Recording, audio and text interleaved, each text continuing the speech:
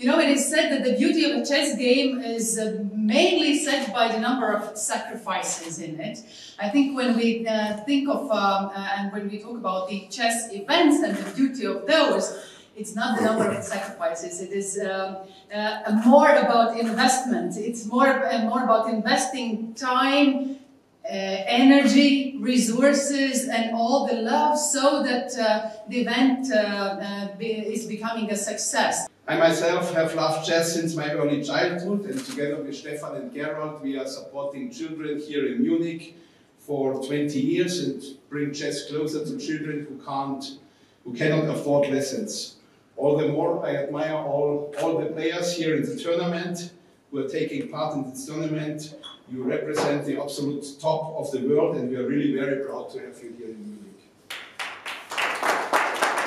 Uh, of course, I remember very well in my time as professional player how much I loved long speeches when I wanted to go to concentrated. Yeah. So let's try to cut it short. Of course, I don't wish you success because success for some of you means failure for the other ones.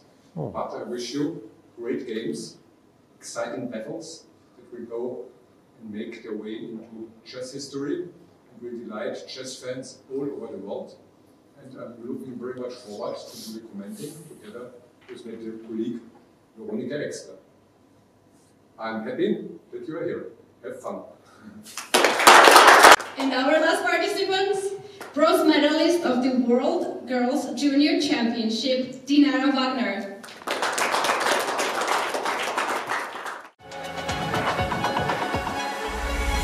Greatest chess minds in the world have arrived in Germany, where the historic city of Munich will host the second leg of the FIDE Women's Grand Prix.